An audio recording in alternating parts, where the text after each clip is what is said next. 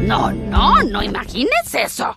En el camino se encontró con un oso feroz al que mató a mano limpia, aunque los historiadores modernos apoyan la hipótesis de que el oso lo mató a él.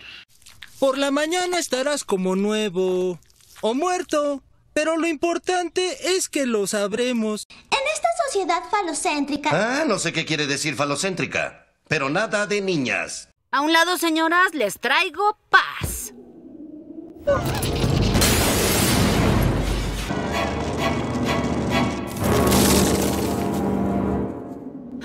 Hoy me iré a dormir muy tarde.